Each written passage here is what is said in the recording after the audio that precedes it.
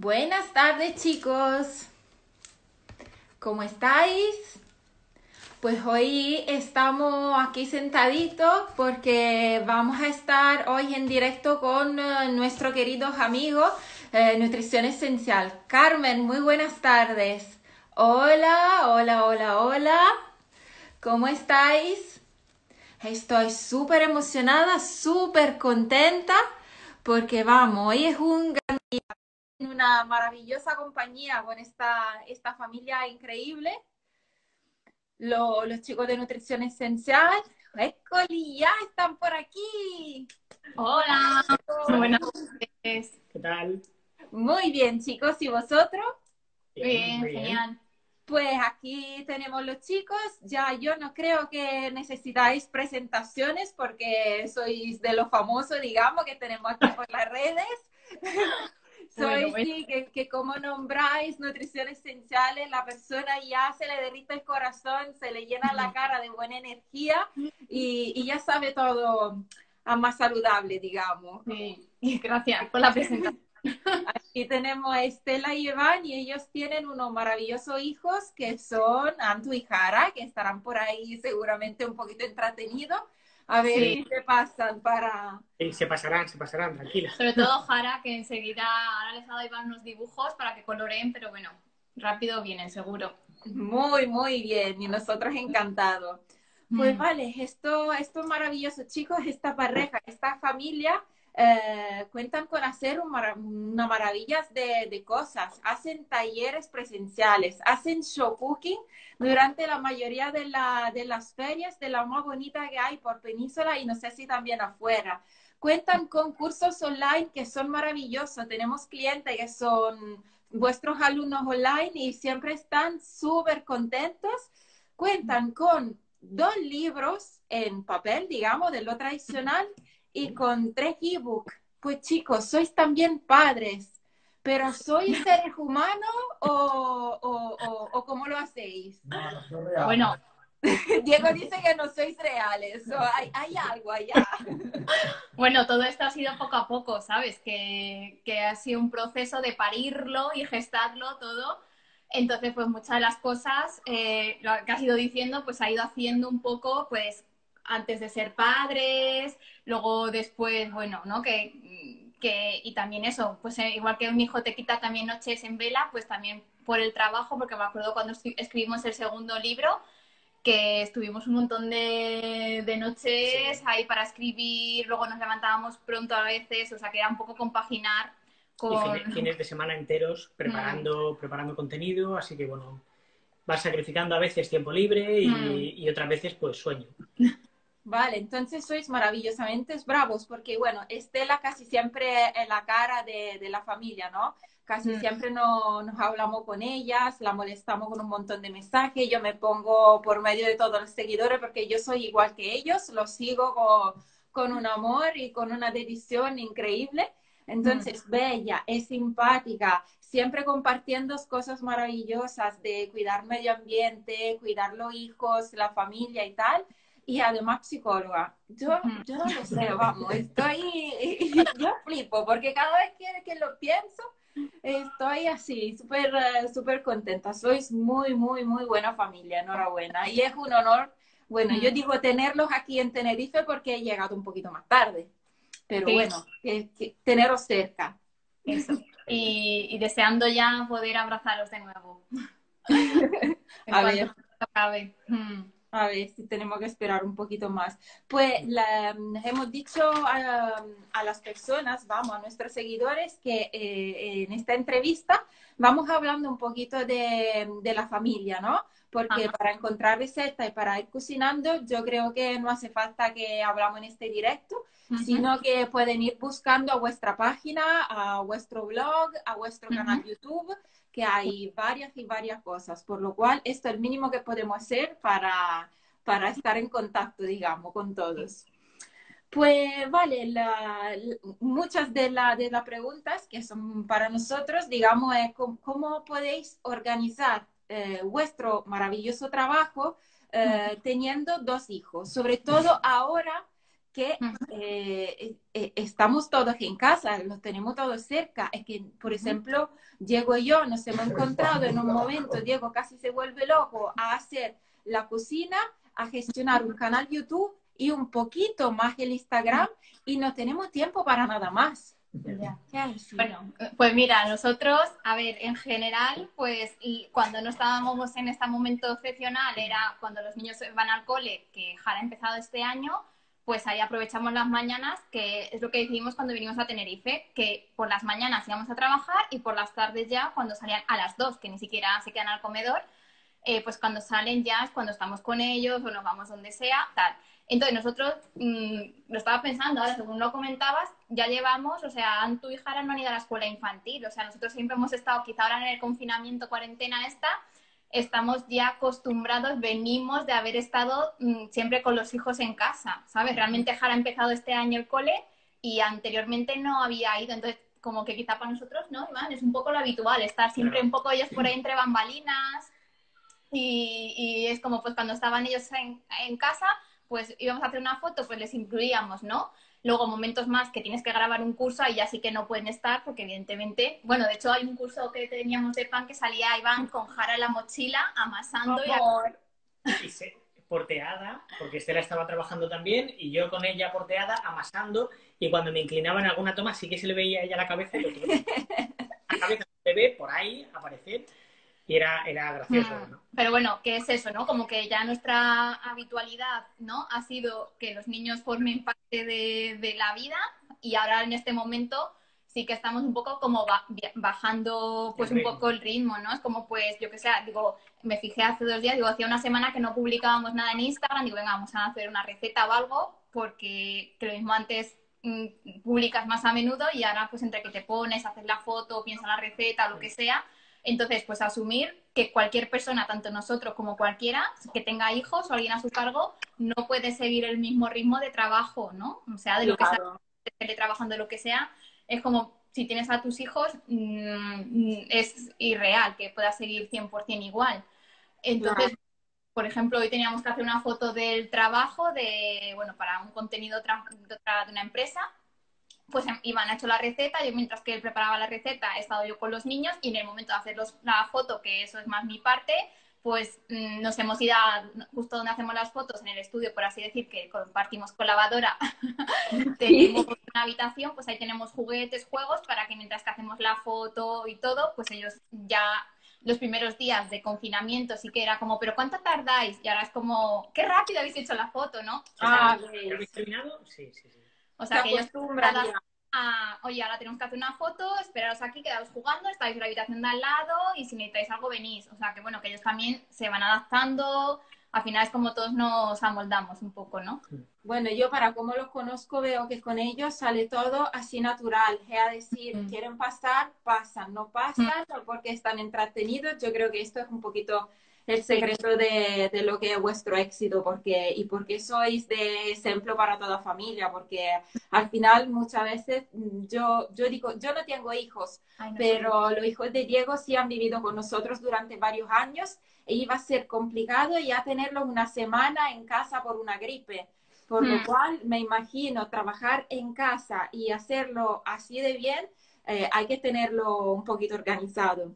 Por lo cual, otra pregunta, me voy aganchando a otra pregunta. ¿Cómo, cómo hacéis ahora que estamos encerrados como en, plan cuarentena? ¿Tenéis con los hijos un plan semanales de cosas que tenéis que hacer o un plan diario? ¿O hacéis como una agenda de, para organizar los tiempos y tal? ¿O así random, como, como salga? Bueno, pues los primeros días hicimos como una rutina nosotros, ¿no? Mm, en plan, pues primero nos levantamos, más que nada, pues claro, para que supieran un poco, sobre todo Antu, que tiene más, ¿no? Y te dice, oye, ¿ahora qué toca? ¿Ahora qué viene? ¿Ahora en qué momento del día estamos? ¿Cuándo cenamos? ¿No?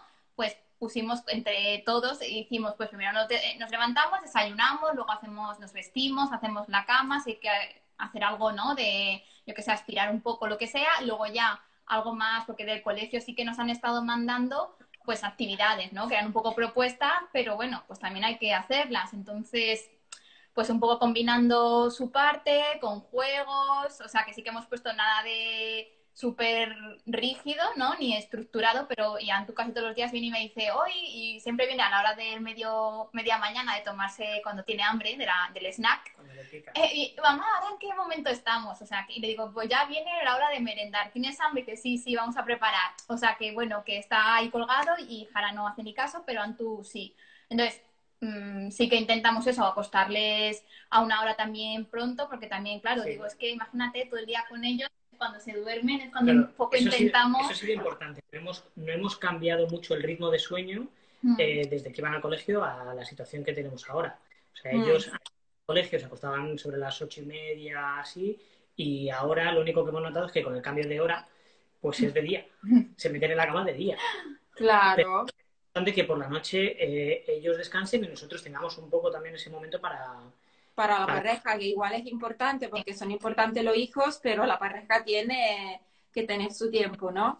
Sí, así que bueno, en esa Bueno, encontrar el tiempo, verla por la tarde me parece una, una buenísima idea y claro, veo los seguidores diciendo la rutina es una mejor cosa para los adultos, tanto cuanto para los niños. Y ah. ellos los ayudan en las actividades de casa.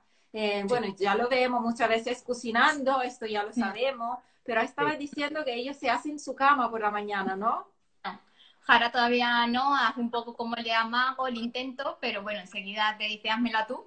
Pero bueno, es que ha sido súper fuerte.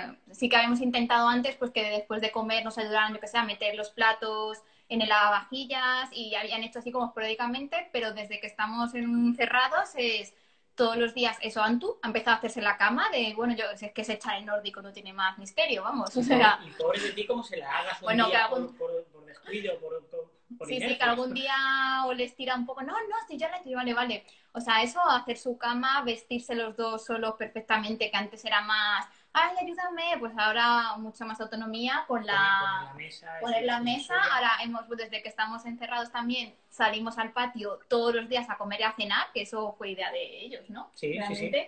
Buenísima idea, ¿eh? ¿Cómo ayudan? un día en agosto, pero no así de decir todos los días haciendo buen tiempo y ellos ponen la mesa, ya recogerla les tienes que insistir, pero para ponerla les encanta. Así que no. Que bueno, claro, esta es otro, otra manera de tenerlo entretenido, ¿no? Y de, y de seguir una rutina, porque una rutina eh, sí que es la hora de comer, pero hay que hacer algo para comer y mm. para acabar la comida, por lo cual eh, me, parece, mm. me parece genial. Y mm, ellos pueden... Vegan, dices es vegan. ¿Y ahora dónde están los papis aquí? Ellos están en el salón, están, pintando, que les han dado unos, unos dibujos la empresa justo ahora a ver si como el pintar les gusta bastante. Sí, es que se mantienen un poquito allá. ¿Y vosotros dejáis que ellos jueguen un poquito con la tableta o con el móvil? Esta fue una pregunta que me hicieron ya dos o tres hmm. personas, porque hmm. creo que hay personas en contra y hay personas que le dedican un tiempo. ¿Cómo os reportáis? Pues eh, tableta tienen eh, tienen películas, ¿vale? Que lo que hacemos es cuando vamos en el coche, en plan, yo qué sé, imagínate que te vas aquí en Tenerife, que cuando vas a Samelo, pues es como, uh, tres cuartos de hora, pues venga, una película, porque sí que se aburren un poco en el trayecto, ¿no? Pero luego si eso nada, y en casa tampoco. Los móviles, son, son, para trabajar y, mm. y, ya está. A lo mejor algún vídeo, si nos han mandado del cole, alguna actividad pues un vídeo que no tenemos en ese momento el ordenador cerca y es algo mm. sencillito, mm. pues igual sí que lo ponemos ahí, pero no, no lo tocan ellos. Mm. ¿vale? No tienen acceso libre a móvil y la tablet en el, en el, solamente películas en el coche si son viajes largos. Y ahora también, por ejemplo, antes Antu veía más tele, antes de la cuarentena, y ahora en cambio dijimos, mira, como estemos todo el día en casa y tenga acceso a la tele, así que dijimos al principio del todo una película al día, que va a ser el cine, eso es lo que se pone en la tele y ya. Que vemos los cuatro, paramos mm. los cuatro, la vemos juntos y mm. ya está. Cuando se acaba la película, jugamos, dibujamos, limpiamos, mm. eh, lo que toque. Me parece genial, sí, por lo cual sí, están bastante entretenidos. Sí, alguien está preguntando cuántos años tienen los niños. Pues Antu 6, que hace 7 en septiembre, y Jara hace 4 en junio. Sí, ya, me vino a mí también. Esta no la había leído, pero la había saltado antes a Diego, que está ya revisando todo. ¿eh? Diego está presente detrás de su pantalla, pero está aquí, aquí presente. ¿eh? no preocupáis. Y, y tú, Estela, ¿te, has dado cuenta que, tu trabajo y tu formación como psicóloga te, te has ayudado en, eh, en, gestionar el trabajo, con, eh, en tener los niños allá, sobre todo ahora que son varias horas, o antes que era igual, porque lo teníais igualmente en casa ambos, pero no sé, ¿te, te da la idea que te haya ayudado tu formación? Hombre, sí, siempre, siempre ayuda, ¿no? Sobre todo, bueno, el enfoque de, porque nosotros creemos más en una disciplina más positiva, no tanto de super nanny de esta, ¿no? Hay de, que el adulto impone, sino más de, de, asamblea familiar, de entender que si el niño se porta de una forma, sobre todo si es mal, tiene sus razones. Entonces, bueno, ¿no? Mm, claro, tú puedes ser psicóloga y no que sea psicóloga quiere decir que, ¿sabes? No vas a dar por supuesto que la persona por ser psicóloga es de una forma o tiene unas habilidades, porque dentro de la psicología hay mil mm. formas de ser y de trabajar, ¿no? Entonces, bueno, sabes que siempre, siempre te ayuda, está claro. Y también otra cosa que creo que nos ha ayudado, nosotros eh, cuando estábamos estudiando en Madrid la carrera, eh, trabajábamos como monitores con niños, entonces, bueno, como que también Iván le encanta, mm, bueno, ahora hemos estado jugando, ay, está dando aquí todo el sol, no sé si se me ve porque está entrando la luz por el lado. Entonces, como que hemos trabajado en colegios con niños y como que eso también te hace, ay, ahora mejor, que me estaba ya quemando. Eh, ¿Sabes? Pues tienes como más dinámicas, más ideas, sabes más qué cosas les pueden gustar, además de que sean tus hijos, pero en general a los niños un poco por qué cosas les puedes enganchar. Así que bueno, yo creo que también es una cosa a favor, ¿no? Un poco del ocio, ocio un poco más así creativo, ¿no? Qué bueno, qué maravilla. Me gusta muchísimo tu manera de explicar las cosas. Me, me encanta. Me quedaría ya escuchándote horas. Veo que hay personas que ya empiezan a preguntar y podemos saltar a lo que era mi idea de, de llegar a la pregunta del final porque veo personas interesadas. Hacemos un mix de, de cómo estaban planeada la, la pregunta. ¿Los hijos son veganos? Sí, sí. ¿Nosotros cuántos años somos veganos? ¿10 años o así? 2009. Sí, en 2009 más o menos, creo que es cuando dejamos de comer animales. Sí. Y ellos nacieron en 2013 y 2016. O sea que cuando yo ya me quedé embarazada, ya llevamos un tiempo suficiente, ¿sabes? Como que teníamos esa...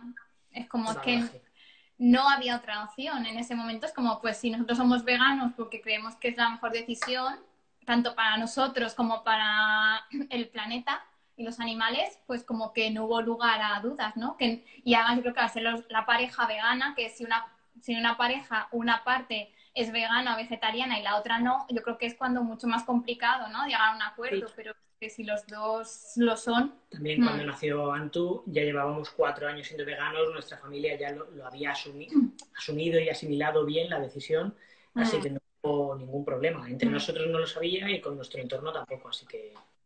Vale, yo, yo le sigo haciendo estas mm, preguntas porque las hacen los seguidores, pero que no me tomáis por loca porque hemos hablado varias veces sobre el tema. No es que se me haya olvidado, es que sí, no lo saben. por lo cual yo, yo lo sé perfectamente. ¿Cómo, cómo ha ido con, eh, con, el cole, con el comedor? ¿Cómo, si habéis tenido algunas veces problemas, a lo mejor con los médicos de cabecera, con el pediatra? Estas eran dudas enormes, vamos. Sí, sí. Bueno, pues vamos por partes. Primero con los pediatras, ¿no? Sí. Pues con, bueno, es que ha sido, porque también ha sido distinto cómo he gestionado yo, por ejemplo, en el embarazo de uno y en el posparto. Por ejemplo, con Antu, cuando me quedé embarazada y fui a la, la matrona, la primera revisión de la seguridad social, pues yo pues me, me hice el estreno y hola, a ver, vale, pensé que no había sido. Em, entonces le dije, eh, ay, soy vegana, tal, y dijo, ay, Dios mío, ¿no? Como Houston... Tenemos un problema, fue lo que dijo. ¿Sabes? O sea, la señora, sin, era mi, sin mirar ni siquiera mi analítica, ya como que, pero pescado comes y sardinas porque te va a faltar el omega, no sé qué, y el bebé va a salir con deficiencias. Entonces ahí ya me di cuenta como no puedo ir diciéndole a todo el mundo así que soy vegana. Entonces, bueno, pues... Sobre, todo, eh, sobre todo porque no miró la analítica. Mm. No miró ninguna prueba y sus prejuicios fueron lo que marcaron lo que, lo que nos iba a decir, su forma de actuar. Y no, luego ya, pues bien, nació eh, Antu, ya empezamos a llevárnoslo por una, por una pediatra privada que era amiga nuestra y ella no era vegetariana ni vegana ni, ni tampoco estaba especialmente a favor, pero era una persona que siendo médico veía al niño más allá de, de que fuera vegano o no. O sea, es como si al niño le pasa algo, no voy a atribuirlo a que es vegano, sino voy a ver a un niño que puede tener una enfermedad siendo vegano o siendo omnívoro. Y eso era, claro, antes de mudarnos aquí. Y en cambio con Jara, su pediatra, pues todo bien, hasta que bueno, en el embarazo de Jara yo no dije que era vegana, la ginecóloga y la matrona, bueno, te tomas tu litro de leche de vaca, que no te falte tu calcio. Y yo, sí, sí, sí. O sea, digo, ¿para qué le voy esta señora que le voy a ver en tres consultas que soy vegana, ¿sabes? pues yo iba en las consultas, ella me miraba, me pesaba, todo estaba bien, pues no voy a entrar, es que soy vegana. Eso, si, si las pruebas objetivas estaban bien, las analíticas, todo estaba bien, pues ¿para qué claro. íbamos a que entraran en juego sin prejuicios? Así que... Ya quería estar yo en un embarazo más tranquilo, ¿sabes? Como que con Anto era todo ahí como más guerrera, de pues mira, soy vegana y puedo estar sana y tener un embarazo sano, como demostrarle a la señora o a la matrona o al que fuera. Y ya con Jara dije, mira, prefiero estar tranquila y ya está. Y en cambio, me parece una buenísima opción. ¿Ves? Esto creo que es otro punto a favor de ser psicóloga, ¿sabes? De poder adelantar un poquito la, la idea, digamos, de, de, lo que podría ser prejuicio. Hmm. Como dices, ¿no? ¿Qué prefieres? ¿Tener la razón o estar tranquilo? ¿No? Algo así se dice. Y con Jara sí que la, la pediatra bien, todo, hasta que ya empezó con la alimentación complementaria y en plan de, uy, Dios mío, o sea, todo le parecía bien hasta que pues no está creciendo lo suficiente y en el siguiente, los, en, los, en los nueve meses y en los doce mm, estaba todo bien, es que no lo había medido bien, o sea, cuando llevas al pediatra a un bebé, es, la medición es estirándole de la pierna, o sea, es un poco, ¿no? O sea, no es nada exacto. Sujetar de la cabeza, sujetar de los pies y, medir. Ya está. Pues a lo mejor un centímetro adulto no, no, marca mucha diferencia, pero un centímetro en un, niño de esa edad, en un bebé de esa edad, pues es una diferencia muy grande. Puede marcarse en el percentil o si se ha quedado estancado o lo mm. que sea. Pues de los 6 a los 9 parece que se estancó y luego en los dos días estar en el mismo percentil que a los 6. Mm. O sea que era más era más fácil pensar que había sido un fallo en la medición que el que el niño, niña en este caso, hubiera tenido algún problema. Y nada, pues. Y ya, y bueno, después llegar aquí a Tenerife, y claro, decía, bueno, ya, ya conocemos ahí, aunque sea como es la señora, pero bueno, la conozco, ¿no? Y aquí en cambio llegamos eh, en Tenerife y, y, nada, dice, come, no sé cómo fue, en plan, bueno, pues la revisión de Jala de los tres años y Antu de los seis.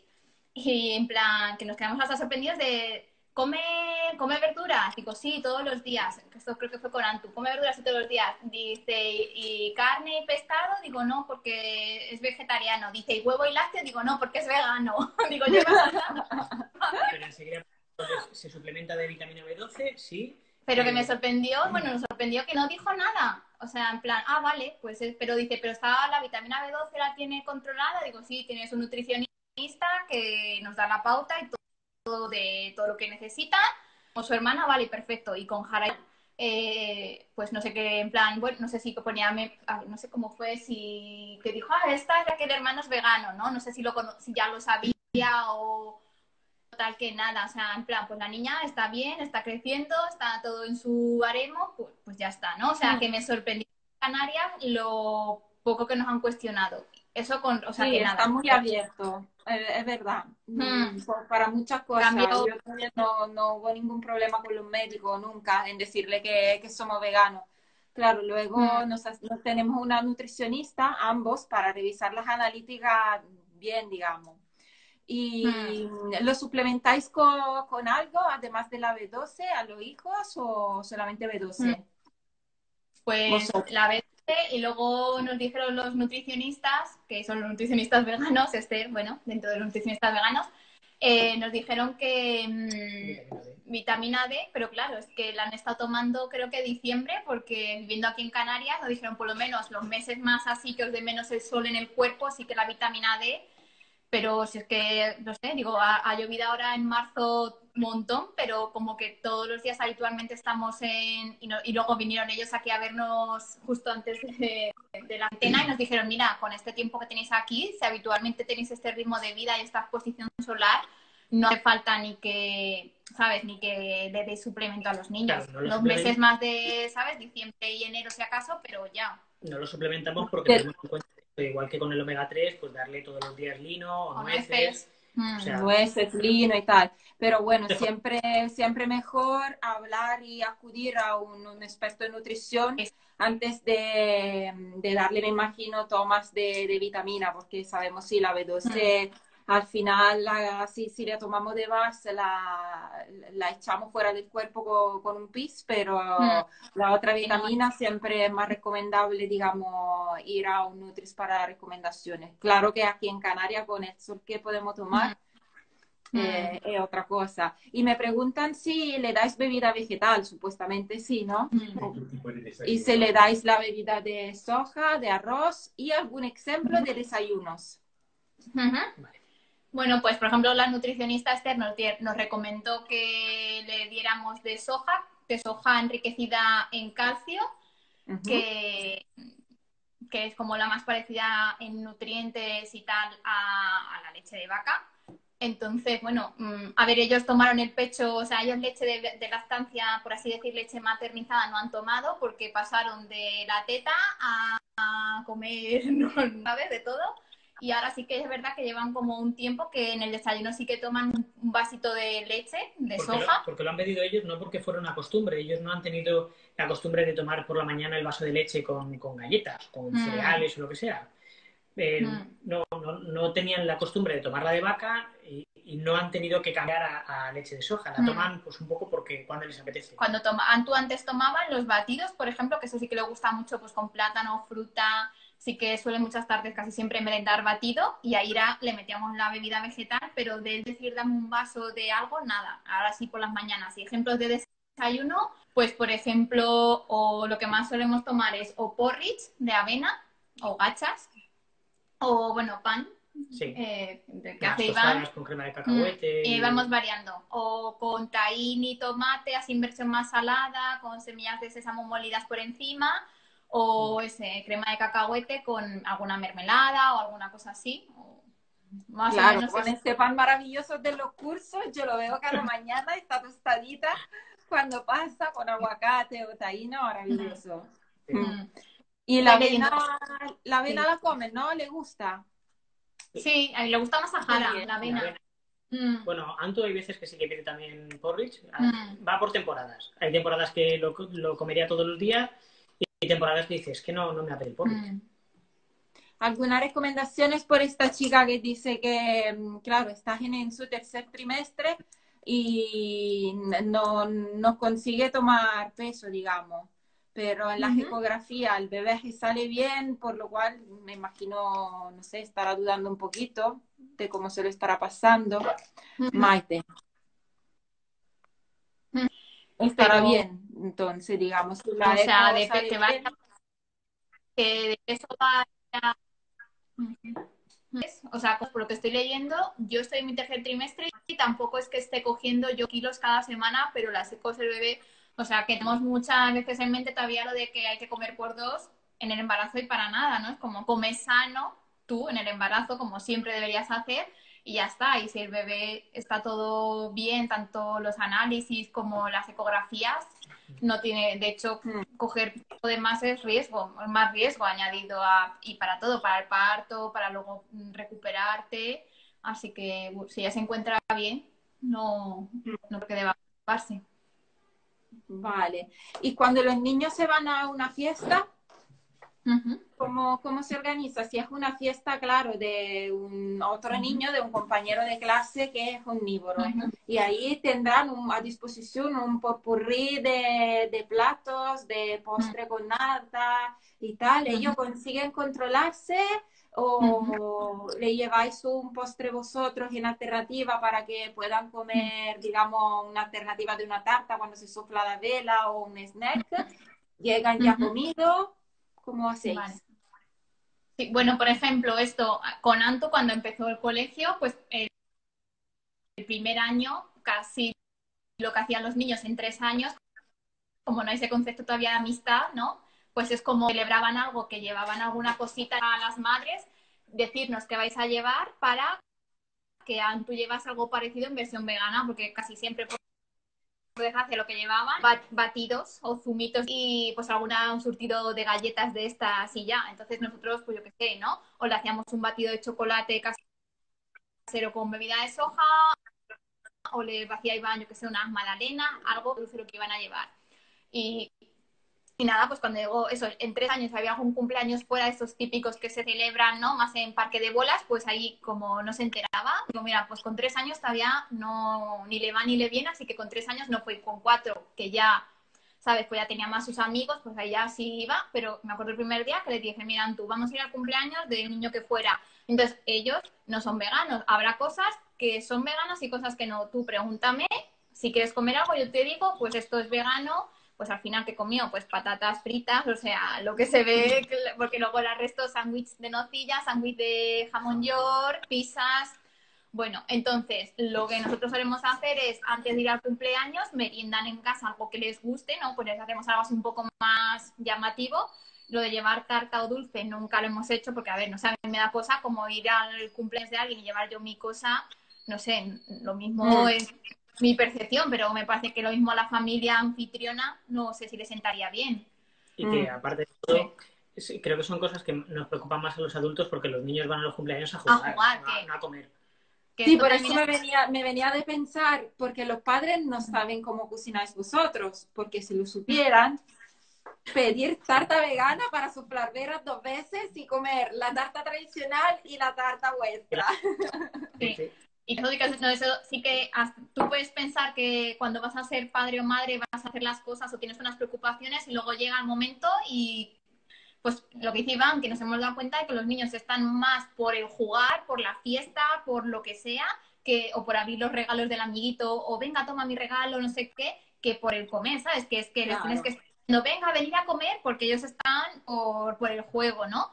Entonces, como que al final la comida que a nosotros era a mí sí que me preocupaba, en plan, ¿y qué harán cuando vayan a los cumpleaños? ¿Querrán comer de todo? Y la verdad que eso sí que me ha sorprendido, que ni ha sido algo así de, Dios mío, quiero una pataleta, de quiero comer eso. Es como, pues oye, ¿puedo comer esto? Sí, esto no, esto es vegano, y al final es decir, esto es vegano, esto no. Y, y hombre, si en un momento dado y la gente te dice a veces, nos pregunta, oye, si cuando tengan 15 años quieren, pues yo qué sé, ¿no? O sea, al final ellos toman sus decisiones cuando tengan capacidad de decidir. Hombre, si me dicen con 5 años, pues creo que con 5 años tampoco tienen mucha capacidad de, ¿no? De tomar decisiones así en firme, pero yo qué sé, pues ya lo iremos viendo, ¿no? Que si con 16 años dice que quiere comer carne, pues igual que yo decido ser vegana y van, pues que tomen sus decisiones. Tampoco podemos obligarles a seguir nuestra filosofía, ¿no? De vida. Claro, claro. ¿Y con el cole?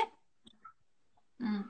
Bueno, el cole siempre ha sido como, tanto antes en la península como aquí, mm, por una parte como no había opción de nada vegano, y, aquí la verdad que estábamos con el colegio muy contentos porque es maravilloso, pero en el tema de...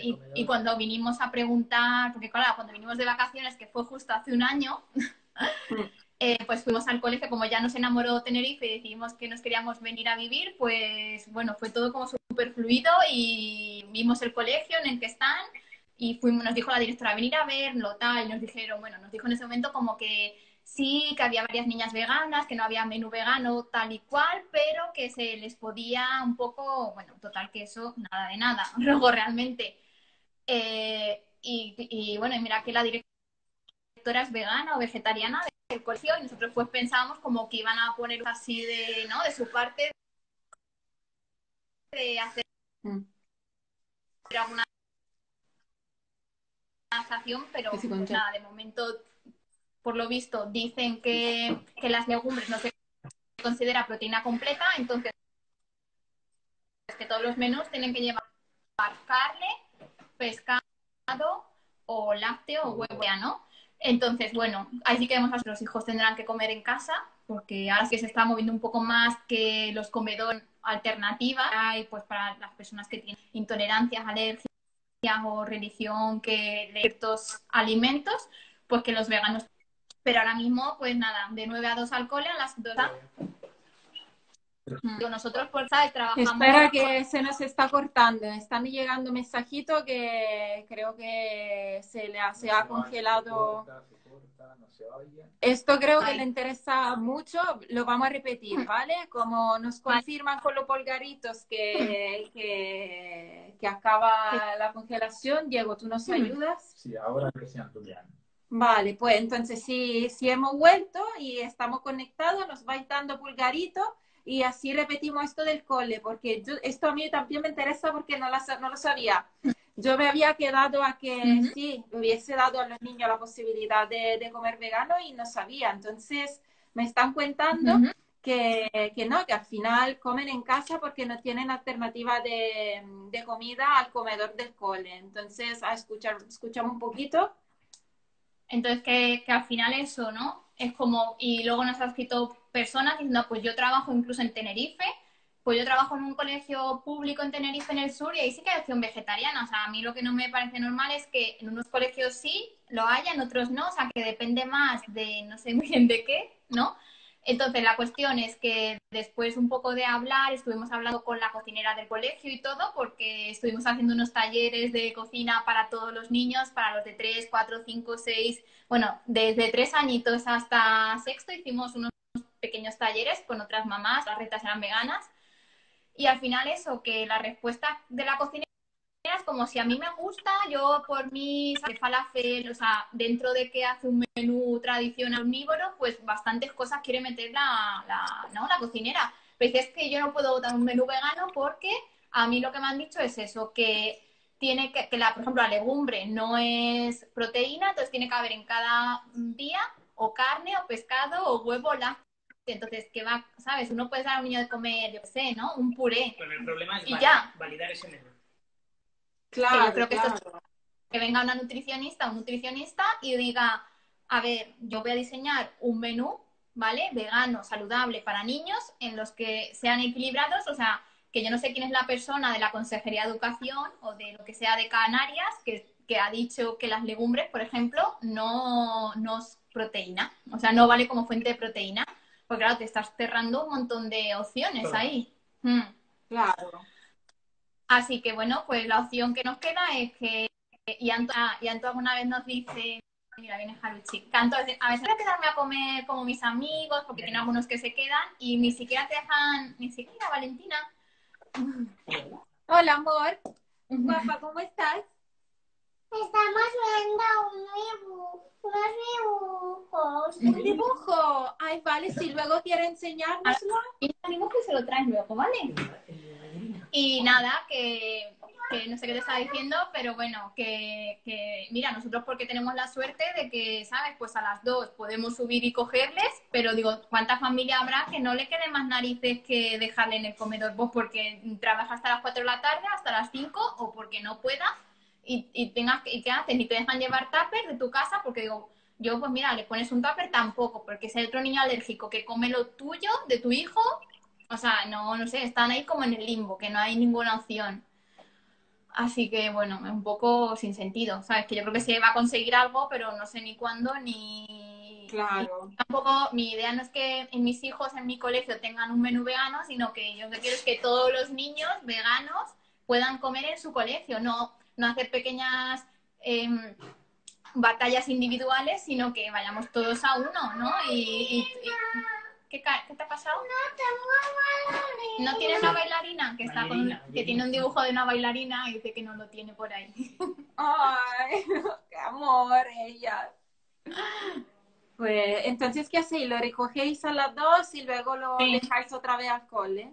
No, no, no. Eh, lo recogéis y ya tu jornada es de 9 a 2. Entonces los niños que se quedan al comedor comen de eso hasta las 3 y a las 3 o se quedan extraescolares. O sea, por ejemplo, si se quieren que haga una extraescolar, pues tampoco pueden, porque a ver, no vas a cogerles a las 2, vas a comer y volverles a subir a las 4 a la hora que sean las extraescolares.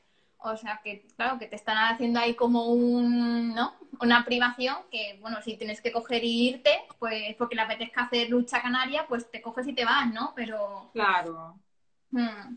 Pero bueno, no sé qué pena. Además, habéis hecho talleres con, con el cole, habéis hecho varias cosas, por lo cual, digamos, no se imagina una mentalidad bastante abierta, porque si no. ¿por qué es enseñarle a otras familias que sí se puede hacer maravillosamente un pastel de vegano de manera sencilla y nutritiva? ya. Pues qué pena. Y luego también hay mucha gente que nos ha escrito de, de sobre todo de, de Cataluña, eh, que hay Vamos a poner mucha gente de Cataluña que- que hay colegios públicos escrito toda menos. esta recomendación, porque la quiere, ¿no? Que, me- que dice Diego que, que ya ha encontrado la página web de la OMS, así que si otros padres se encuentran en la misma situación, Todo el mundo sigue lo que dice. donde, donde la OMS, por supuesto, va diciendo que en cada colegio se tiene que dar derecho a las personas de comer de la manera que, que quiere su familia la. No y que la comida vegana tiene misma salubridad. Ya vamos, esto- Hay que pues dejar el enlace si podéis. Sí, sí, se- eh, lo ponemos stories, así que todas las personas que están interesadas tendrán, digamos, a disposición. Mm. Pues ya Sí. veo que los hijos eh, los están reclamando, por lo cual yo no le tomaría más tiempo. Sí. No sé, no he ido mirando mucho las preguntas. No sé si hay alguna que. De, de paso, la hemos, la hemos puesto por dentro de, de- de lo, de lo que hemos hablado. Mira, Carmen, Carmen Parellada es, la conocimos en la Bowl en Barcelona. Que la que cuando fuimos, a, pues no sé cuánto hace. eh, Dos años ya. ¿Dos años o así? Sí. ¿Eres tú, no, Carmen? Que creo que sí. Carmen, eh, nosotros ya decimos que, que Carmen es familia ya, porque siempre Sí. está con, con nosotros. La otra vez que eh, estuviste en directo haciendo mm, la receta de, de los panchapati, estuvimos incluso hablando con Nieves, con Carmen, digamos, entre, entre seguidores de directo y, dándonos recomendaciones. Sí, Carmen vive, vive en Barcelona. Sí. Por lo cual, pues que sí, que es ella, porque ayer cuando recordaba que en el directo de ayer de la cocina, recordaba de hoy estar en directo con vosotros, ella dijo, todo lo mejor están en Tenerife. Y yo le he dicho, piénsatelo, vente tú también. A ver qué estás pintando, Jara, enséñaselo a la gente. Pero vente para acá. Patatina, que yo soy patatina pajara, se me parte. Patatina, una bailarina. ¡Wow! De la película. ¡Qué mona! Y este es ¡Qué el bueno! amigo. ¡Qué bueno! Que se ha venido aquí al lado de la. Dibuja mucho mejor que mí. Ahora a colorar, a pintarlo bien, a pintarlo bien. Sí. Pues nosotros cuando acabará esto de, de la cuarentena y podemos subir, ya hemos quedado con, con varias personas de que nos vendremos, no sé si al Teide, nos organizaremos una, una quedada. Entonces, Sí. que sepáis que supuestamente estáis invitados Claro. para, para volver a abrazarnos y disfrutar de un picnic al aire libre y, y tal. Entonces, Qué bueno. Pues nada, muchas gracias por este ratito que hemos compartido, ya que no podemos compartirlo en vivo y en directo de momento, pues nada, virtualmente. Muchas gracias familia, ¿eh? Muchas gracias, gracias a todos los seguidores. Si no tenéis otra pregunta, chicos, pues ya acabamos el directo que devolvemos los padres a estos hijos, que ya es la hora.